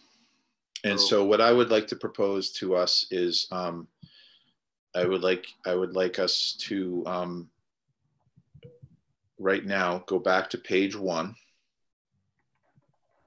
and scroll through stuff and say yes or no on what we've worked on. I'd like to leave, I'd like to end this meeting.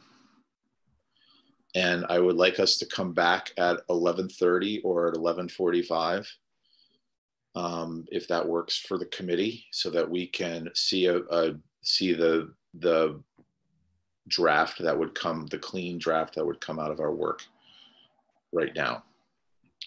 And um, is that is that sufficient for the committee?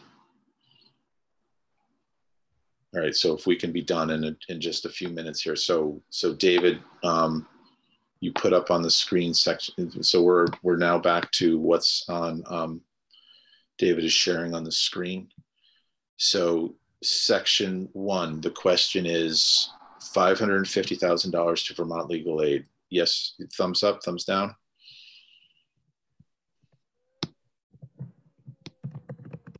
All right, I'm sorry, I can't, I'm, I'm, can you guys do the, the hand, can you do the, can you do the um, hand uh, raise on your participant list? I can't see you with, with everything here. Um,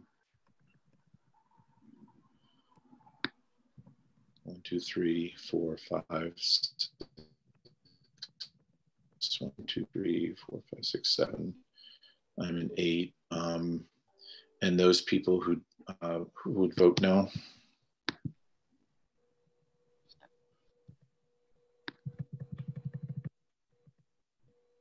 All right, I see two people voting no for direct. Um, all right, so that's so that stays. Um, uh, we have a new B. Um, $250,000 to DHCD for grants to organizations that provide assistance um, to uh, landlords during, I, I say, um, uh, who to assistance to landlords. Um, I, I can flesh it out. I just, Yeah. I'm trying to make sure I have it. yeah, and just and just end it with due to the COVID nineteen crisis. Um, is everybody? Um, hold on, let me just lower people's hands here. Everybody's okay with this, or or I'm sorry, who is okay with this? Um, I see three, six, seven, eight, nine, um, and who is not? Uh, Lower your hands. And people who are not okay with this. I'm sorry, Representative Gamache and Howard, are you okay with this? I see this. Um, Sorry, I didn't lower my hand, it's but I did now. Okay. Um, all right, so that's that's the majority of people are in favor of that. Section two, um, we are down to. Um, I think that's. I think we want. We we we came to some consensus, not 100%, but consensus is never 100%. But we came um, to consensus that the language that is here, the longer language under housing and facilities is the preferred language, but that the appropriation or the allocation would be 9 million.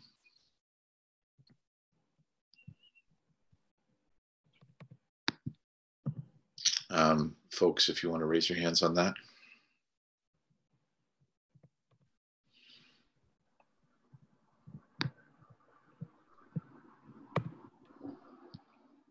Okay, and people who do not prefer that language, uh, everybody lower your hands, please. And then um, anybody who finds, who doesn't care for that language, please raise your hand. All right, so David, that's set. Um, foreclosure protections. At $6 million, which is the administration ask. Um, are we the the gist of this is um, the the gist of this is um, do we name the Vermont Housing Finance Agency um, and then utilize the language that's here. Uh, Representative Hango, your hand is up. Is there a question? Okay. Um, so all those in favor of this longer, more prescriptive language that names the Vermont Housing Finance Agency, please raise your hand.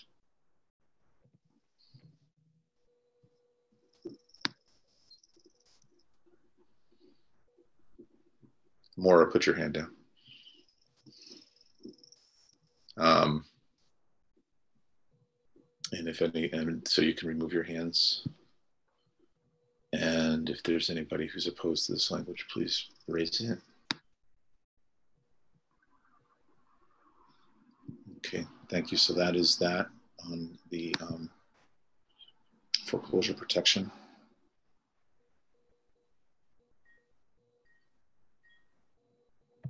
Rental assistance is $30 million.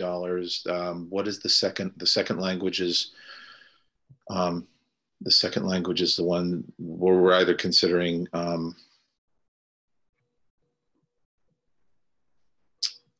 I think we were that we had consensus on the longer language. Bless you, whoever that was. Um, so the um, everybody who's in favor of using the second language, which which tells um, DHCD to appropriate these funds to the State Housing Authority, please raise your hand.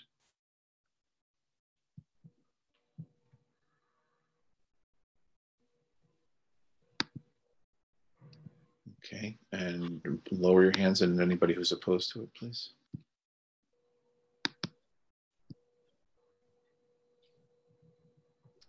Thank you. So David, that second language, um, the one that appropriates it directly to State Housing Authority.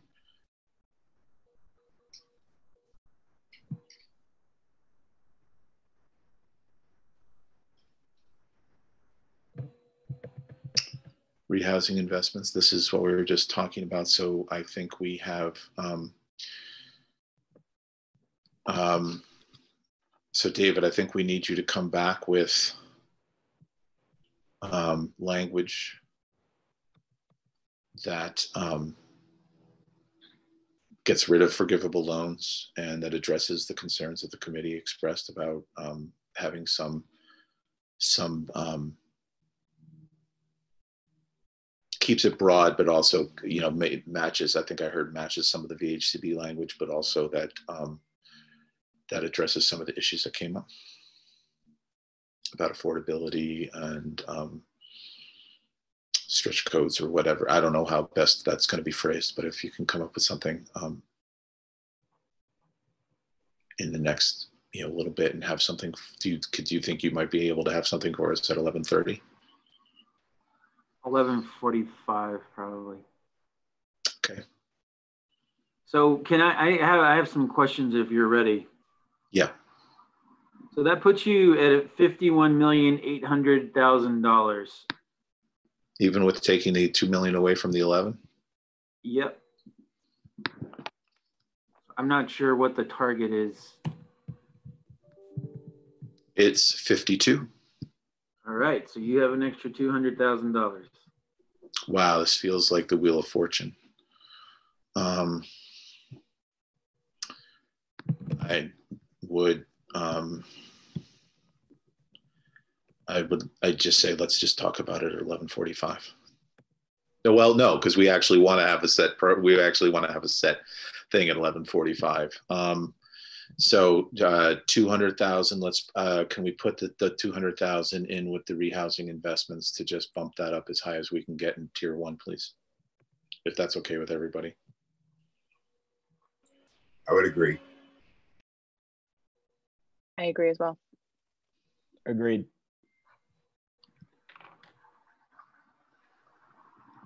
Representative Hango.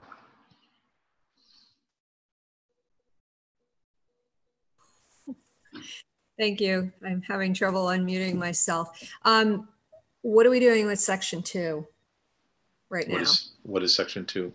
Uh, isn't that the whole rest of the tier two stuff that's in this bill? It still exists, right? Or am I Oh, I would, I would, again, I, well, my suggestion is that we delete it for the time being and, and have this further conversation. I mean, so much of, and, and again, that further conversation may be as soon as tomorrow or Friday, but I think, um, I, I think it's, it, it's better if we do not have it in the tier one proposal. Um, there's too many unknowns. It's too many unknowns just given the uptake. We're not going to know what the uptake of the program is tomorrow or Friday, but I think as we move forward, and also in consideration of what we will hear tomorrow from AHS and their proposal, I think it's wise that we um, delete it. Okay, yeah, I just wanted to make sure because we Yep. hadn't talked about it at all and you're asking David to come back. So thank you. Yep. No, out of sight, out of mind for me. That was gone in my head a couple hours ago. So, Okay. um, yep. Okay. Thank you. Um, Representative Howard? Did you have a question? No. Representative Killacky? Uh, I, I, I love where this is going. I, I do, um, I'm looking at some proposed language about at the very end of this bill. Uh, and it would be any award, and this is coming from, um, legal aid? No? Okay. Well, I mean, I, I, I agree in theory with the language. If we want to share it with, um, I think it's really late to start talking about that. But if, um, if we want to share that language with David Hall, Okay, the, oh, my, my share with the concern, committee, you have to look at it in the next hour. And, and we have to have it ready to go. I mean, go ahead. And I don't know, John, if this language is already included in the larger package or not. So, um, but what is your concern? I'm sorry. Go ahead. I cut you off. What language? Yeah. um, well, it, it's what I raised the last couple of days. If we need to recalibrate, in September may be the first indication that some of the monies are over allocated and some are under allocated. And I don't think we can wait till December to, in the last week of December, have these dollars that are un, unutilized. So I think that there's a, a kind of check-in point um, in September for the agency to really look at all the different regranting that's been done and say perhaps that more money needs to be going somewhere else if um, you know and i'm just i'm just I, I want every dollar spent.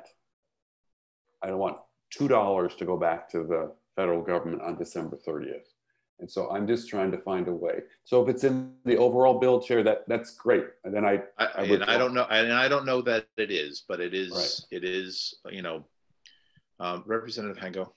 I just want to know where Representative Killacky is looking because I'm lost. It's that's it's got to be shared to committee. This came from an advocate, so it has to be shared Oh, with committee. Okay, thank you. So um, if the advocate would share that with the whole, or share it with Ron, please, so that Ron can send it out to the whole committee.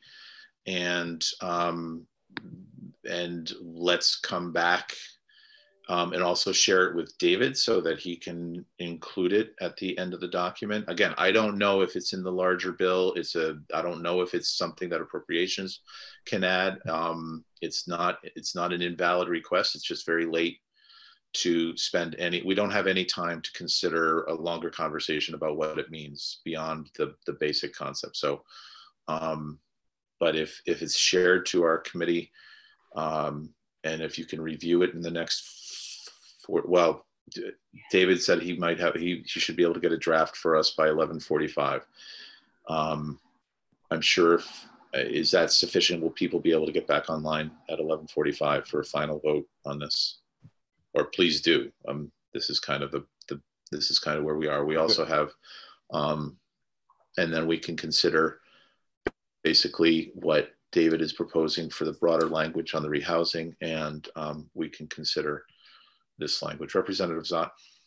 I just want a clarification. Well, I mean, we probably don't know, but I have a an appointment I can't change between one and one thirty. Uh, so I just don't know how long we anticipate the reconvening to go. 15 minutes. I- What's that? 15 minutes. Okay, great. Yeah, no, we, I, I just, our deadline is at noon and I'm sure noon 05, they'll still keep the door open for us, but I um, would like to be done by noon. All right, sorry, everybody. Uh, Ron, you have a question? Just alerting members that I've sent you a new link, a new Zoom meeting link. It says O2 for a second session that'll start at 11:45 today. So that's already gone out. You can look for it. And Representative Stevens, I remind you that you have an 11:15 at Senate Economic Development. Thank you. I'm looking forward to it. Just doing my job. I know. No, that's good. I was um so everybody, yeah, that's just fine. And then we are on the floor at I don't know, two o'clock. Um for normal everyday um hijinks. And so um I want to thank you for everybody. I'll, and I'll thank you again at 11:59. Um, but thank you all for your work today. This was um, we pounded through a lot of work here to get to this point, and um, thank you for your patience and for um, and for your work. This has been this has been a, an incredible week. So um, and we're not done yet.